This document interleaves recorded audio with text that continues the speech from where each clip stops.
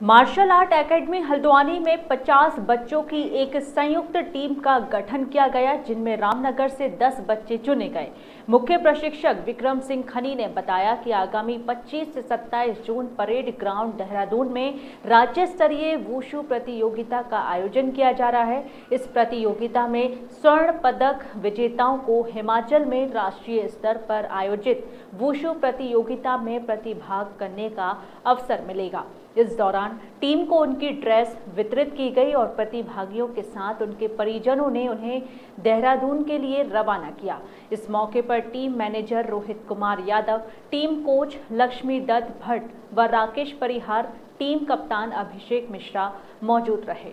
हल्द्वानी से दीपक अधिकारी की रिपोर्ट। जो कार्यक्रम हमने रखा है इसमें बच्चे जो हमारे ग्यारहवीं वूशो जो स्टेट लेवल चैम्पियनशिप हो रही है जो कि देहरादून में हो रही है उसमें हमारे नैनीताल ज़िले के विभिन्न जगह से 40 बच्चे सेलेक्टेड है। All of us are really competitors like हम उम्मीद रहे हैं लाइक वी हैव हाई जोश we can really fight and हार जीत तो होती रहती है we learn from our mistake karate एक अच्छा स्पोर्ट्स है उसका मोटर सेल्फ डिफेंस है और आगे मतलब कराटे में बहुत स्कोप है। और हम इससे बहुत सारे मतलब लाइक जितुशु वूशो में जा रहे हैं। इस बार हम वूशो की स्टेट चैम्पियनशिप में जा रहे हैं तो इसमें मार्शल आर्ट का ट्रेनिंग करते हैं। साथ ही साथ वो चाहते हैं कि स्पोर्ट्स की दुनिया में कुछ काम करें जिससे उनके अपने क्षेत्र का नाम जो है वो आगे को बढ़ा सके।